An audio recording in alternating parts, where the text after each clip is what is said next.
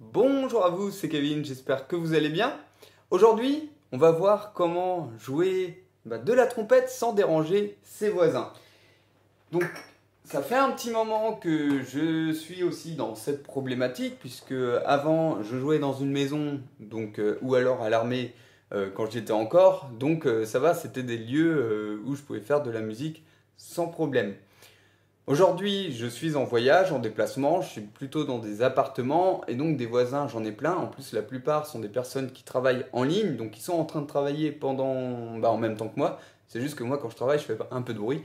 Euh, donc, il a fallu que je trouve une solution et je vais vous partager euh, tout cela en vidéo. Je vais vous proposer 5 solutions. Et euh, mes solutions préférées, celles que j'utilise, je les garde pour la fin, ça va être les dernières. Alors, la première, bah, c'est celle que j'utilisais avant, c'est d'avoir un lieu spécifique pour pouvoir jouer de la trompette. Donc au lieu de jouer chez vous, si vous êtes en appartement, bah allez jouer, euh, soit vous trouvez une maison, peut-être un ami qui en aurait une, voire vous inscrivez en école de musique, limite juste pour avoir une salle pour vous. Euh, normalement, il y a des salles libres en école de musique ou conservatoire en journée pour pouvoir aller jouer. Ou il vous est possible aussi de louer des studios ou voilà des box ou voilà des salles euh, dans toutes les villes en général, on peut faire ça. J'ai jamais eu à le faire en France. J'ai failli le faire ici à Chiang Mai. En ce moment, je suis à Chiang Mai en Thaïlande. Et euh, j'ai une amie qui fait du piano et qui m'a dit, euh, bah, qui m'a donné une adresse pour faire ça. Donc j'ai failli le faire et puis bah, finalement je m'en sors bien avec ma sourdine. Donc pour l'instant je, fais comme ça. Et puis de toute façon je vais bientôt déménager donc à chaque fois il faut que je retrouve des salles. Donc plutôt que, que faire ça je préfère rester avec la sourdine. J'espère d'ailleurs au passage que ça ne vous dérange pas trop au niveau du son, puisque ça fait plusieurs vidéos maintenant, depuis plusieurs semaines, j'utilise que la sourdine à cause de ces conditions-là.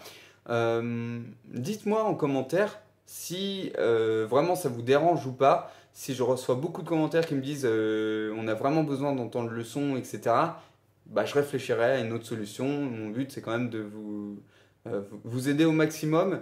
Mais voilà, je fais avec, euh, avec ce que j'ai là en ce moment. Je suis dans un projet de voyage et il faut quand même, quand même que je, faut quand même que je vous donne du contenu. Donc euh, c'est le compromis que j'ai trouvé.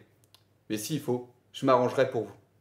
Ok, donc ça c'était la première solution. Deuxième solution, c'est le fait d'aller euh, dans votre voiture. Alors, je l'ai jamais testé celle-là, mais c'est juste que j'ai vu une vidéo d'un Américain euh, qui, faisait un peu les mêmes conseils que moi sur euh, comment euh, ne pas déranger les voisins. Et il avait proposé cette solution, donc je vous la partage. perso, je ne l'ai jamais fait, et puis je pense que l'hiver, ça va être vraiment froid pour faire ça. À moins que vous soyez comme moi dans un pays où il n'y a pas, pas d'hiver, quoi. Là, en ce moment, on est au mois de décembre, il fait 25 degrés. Mais sinon, ça, ça caille. Euh, l'espace est tout petit, c'est pas confortable pour jouer. Bon, personnellement, je le ferai pas, mais si vous n'avez vraiment pas le choix, bah, pensez-y, vous pouvez prendre votre voiture, aller sur un parking tranquille et euh, jouer de la trompette.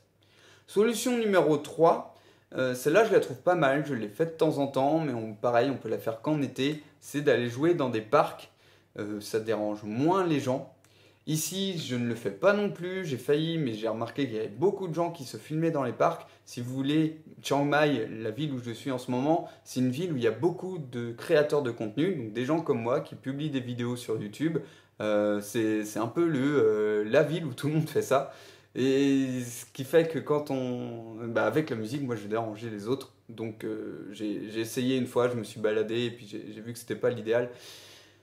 Donc je ne fais pas les parcs, mais à une période, notamment quand je faisais des stages euh, en été, etc., on n'avait pas le choix en fait. Euh, des fois, toutes les salles étaient prises, il fallait jouer dehors. Et je sais que c'est un truc que j'aime beaucoup faire. Comme j'ai toujours été habitué à jouer en rue, j'aime vraiment beaucoup jouer dehors quand il fait beau. Le son est, différent forcément, faut s'y habituer, mais il y a un côté très agréable d'être en extérieur, donc vous pouvez faire ça si vous le pouvez. Ok, et la dernière solution, si vous devez rester dans votre appartement comme moi, c'est d'utiliser des sourdines. Donc, je vais avoir deux choses à vous présenter. La première, celle que j'utilise tout le temps, en vrai j'utilise que ça, j'ai testé les deux, euh, je l'ai quand même avec moi l'autre solution, donc je vais vous la présenter. Mais moi j'utilise donc euh, une sourdine qu'on appelle Harmon Mute. De base cette sourdine c'est la sourdine Wawa, parce que normalement il y a une petite tige en plus, je ne l'ai pas emmenée parce que euh, j'aime pas utiliser cet effet et, voilà donc j'ai pas emmené la tige du milieu et ça m'a fait gagner un peu de place. Et on peut faire Wawa avec ok? Donc vous connaissez peut-être la sourdine Wawa. Quand vous retirez, euh, retirez, la tige on appelle ça une Harmon Mute c'est la sourdine qu'utilise par exemple Miles et c'est la sourdine que j'utilise dans chacune de mes vidéos actuellement euh, si cette sourdine vous intéresse je mettrai un lien je pense vers bah, pour, la commander. Et je vous avoue, je pense à euh, faire une affiliation avec Thomann, donc, euh, qui fournit cette sourdine là. C'est là-bas que je l'ai acheté. Et ça vous permettra d'avoir une réduction sur cette sourdine. Donc ça, euh, voilà, je vais voir avec le temps. Si cette vidéo marche bien.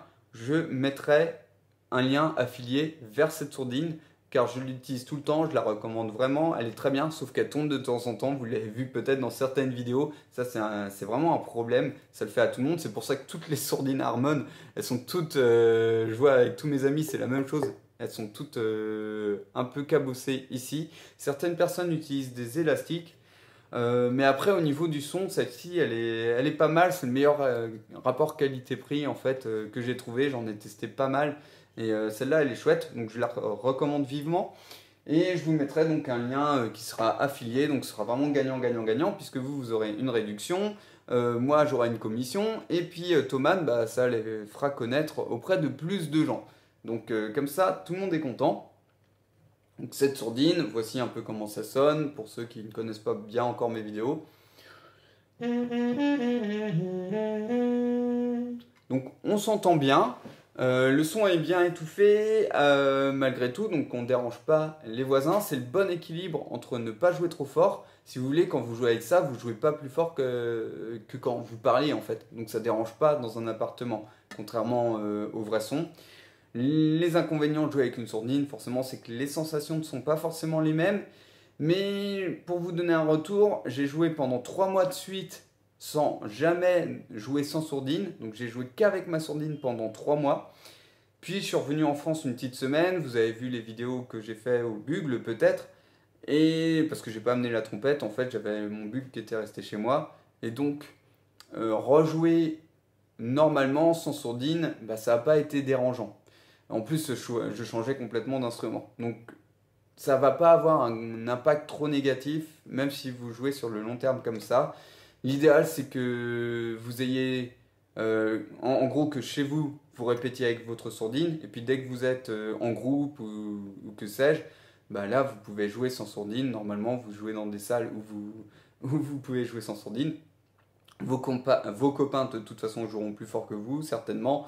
Donc, euh, comme ça, ça vous permet en fait d'alterner avec et sans sourdine, et il n'y aura pas de perturbation au niveau de vos lèvres puisque la, sensation est un peu différente, mais en vrai ça se rattrape vite. Hein. J'ai pas eu de soucis quand j'ai repris le bugle. Et voici la dernière sourdine que j'ai à vous présenter. Donc pareil, je mettrai certainement un lien affilié dans la description. C'est la Silent Brass, parce que c'est vraiment un système euh, ingénieux. Là pour le coup, pour vos voisins, ils vont vraiment encore moins entendre le son de la trompette.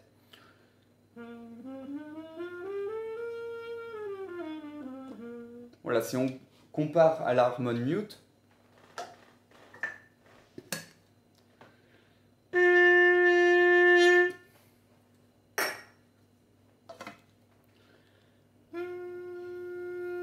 Voilà, je souffle avec la même intensité et on entend encore moins. Par contre, vous, vous pouvez vous entendre parfaitement en branchant votre sourdine à ce petit ampli voilà, il y a juste à l'allumer. Vous avez deux modes, soit vous avez sans reverb, soit avec de la reverb. Euh, et vous n'avez plus qu'à brancher, bon je l'ai sorti, mais vous avez compris euh, comment ça marche un casque. Hein. Vous, branchez le casque à l'endroit euh, prévu, donc euh, qui s'appelle Phones. Je sais pas si vous allez bien voir ici. Vous réglez le volume, moi je le mets au max, hein, c'est pas trop fort de toute façon. Vous mettez le casque dans vos oreilles et vous entendez votre son de trompette. Et c'est assez bluffant. Euh, sur le bugle, ça avait le défaut, le fait de boucher complètement, c'est que les notes aiguës étaient très très très très basses. Sur la trompette, c'est un peu moins pire. Alors attention, bugle et trompette, c'est pas la même taille au niveau des silent brass. J'en ai vraiment un pour chaque.